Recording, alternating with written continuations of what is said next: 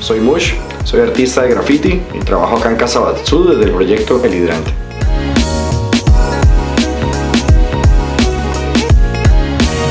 El hidrante nace hace aproximadamente cuatro años gracias al apoyo de Sula Batsu, que nos brinda su espacio para trabajar desde Casa Batsu en la primer tienda de arte graffiti de Costa Rica, desde donde este, comercializamos los diferentes suministros para la elaboración de este tipo de arte, también marcas independientes de diferentes artistas y también trabajamos la gestión de proyectos de arte urbano como exposiciones, talleres, festivales, encuentros en general.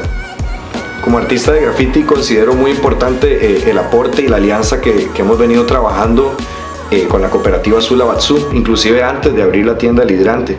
Hemos desarrollado en conjunto con los artistas y parte del movimiento la cultura hip hop diferentes encuentros de graffiti, de artistas, de diseñadores, inclusive de raperos y se abre un espacio ¿verdad? que no es tan común que se dé en, en otros lugares.